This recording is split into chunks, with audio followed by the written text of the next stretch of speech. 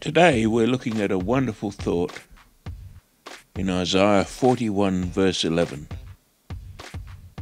which reads, Behold, all they that were incensed against thee shall be ashamed and confounded. They shall be as nothing, and they that strive with thee shall perish.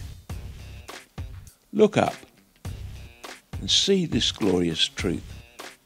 Look up, realize all those that were incensed against you have become ashamed and confounded.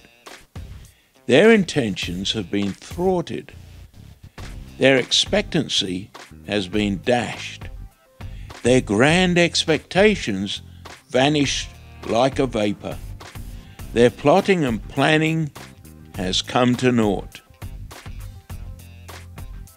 What has thwarted their malignant intentions? The Lord Himself is our God and our Redeemer. We are the sheep of His pasture, the children of His hand.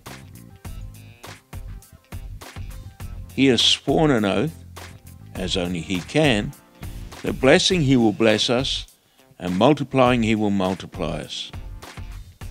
The cause of those that plot against us will not succeed. Is this because we are strong and mighty? No. Like Jacob, we may be a worm, but it is the Lord who stands. His truth shall be thy shield and buckler. It is because it is God who turns the evil intentions of others into good. See Genesis 15 19 to 21. And Joseph said unto them, Fear not, for am I in the place of God? But as for you, ye thought evil against me, but God meant it unto good, to bring to pass as it is this day, to save much people alive. Now therefore fear ye not.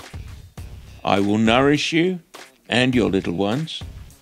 And he comforted them and spake kindly unto them.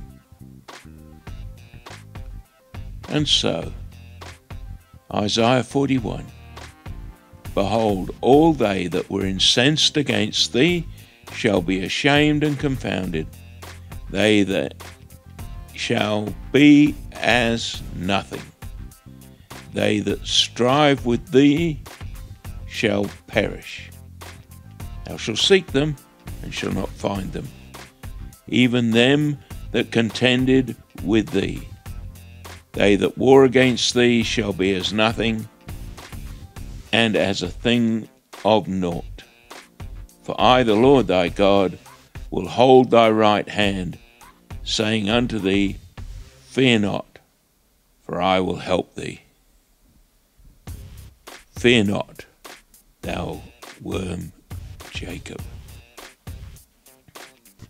It's the Lord who said he would never leave us.